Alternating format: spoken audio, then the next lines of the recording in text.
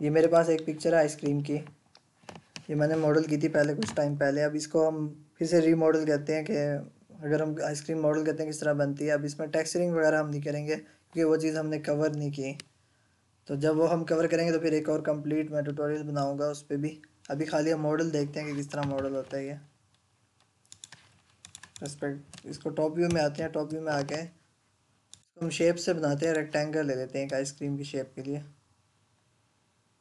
ये रेक्टेंगल ले लिया, उसके बाद इसको हम कहते हैं convert to vegetable spline vegetable spline इसके दो वर्टिसेस हमने सेलेक्ट कर लिए टॉप के.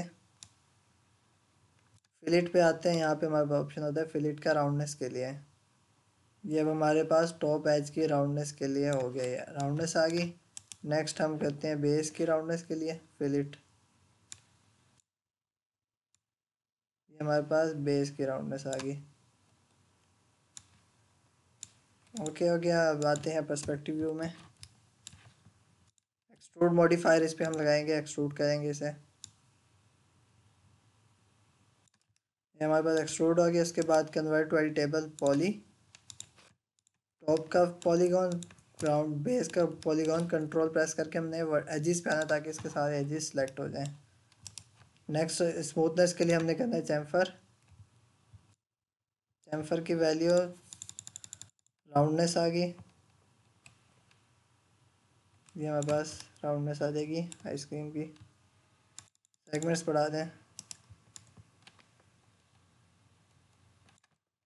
ओके ये हमारे पास आइसक्रीम की टॉप बन गई। अब हमने इसकी बेस बनानी है, वो किस तरह बनाएँगे, वो भी हम सेम रेक्टेंगल से बना लेते हैं टॉप व्यू पे आते हैं। रेक्टेंगल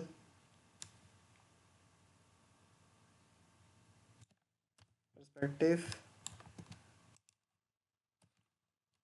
इसको स्मूथनेस दे देते हैं. Convert to editable spline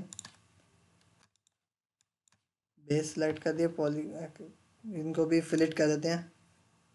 फिलिट value हमने थोड़ी सी, बिल्कुल थोड़ी सी रखनी है. फिलिट होगी ये. अब इसे हम कर लेते हैं एक्सट्रूड इसको मैंने एक्सट्रूड किया. ये एक्सट्रूड हो गया. अब इसमें भी हम थोड़ी सी राउंडनेस ऐड कर देते हैं। कन्वर्ट टू वाली। जितने भी मॉडल होंगे, उसमें जितनी राउंडनेस होगी साइड पेजेस पे उतनी डिटेल हमारी रेंडरिंग होगी। टेम्फर ऑल प्रेस किया तो इसमें सेगमेंट्स हम थोड़े से दे देते हैं। ओके किया। टॉप व्यू मूव कर देते हैं इसको, हम प्लेसमेंट कर देते हैं इसके साथ। पर्सपेक्टिव ये प्लेसमेंट होगी। अब इसमें मैंने टेक्स्ट लिखा होता है यहाँ पे वॉल्स का। अब ये टेक्स्ट किस तरह आएगा? टेक्स्ट हमने देखा था शेप्स में जाके यहाँ पे हमारे पास ऑप्शन होता है टेक्स्ट का। पे क्लिक कर दें टेक्स्ट आ जाएगा हमारे पास। टेक्स्ट की सेटिंग यहाँ से हम टेक्स्ट में क्या लिखते हैं?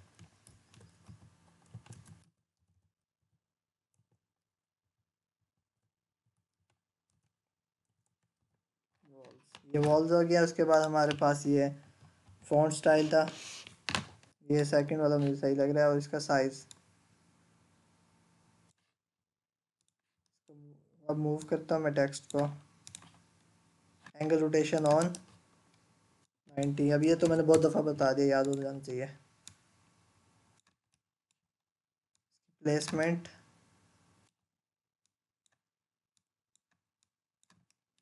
साइज़ थोड़ा बड़ा लग रहा है, इसका साइज़ थोड़ा और कम कर देते हैं। स्केल से कम करो मैं।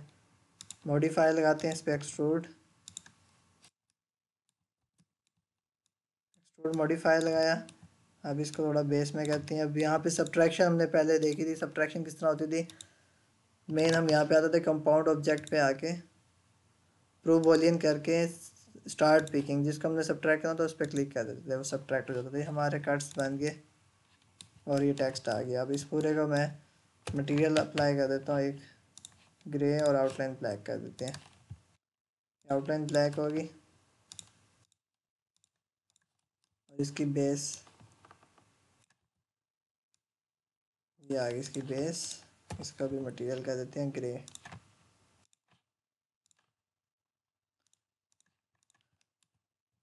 एफ़ फॉर आउटलाइन होगी। लें जी भाई, आइसक्रीम तैयार है, मज़े करें। कुछ भी नहीं था, बिल्कुल सिंपल सी टेक्निक है, आपको टूल्स आने चाहिए, आप कुछ भी मॉडल कर सकते हैं।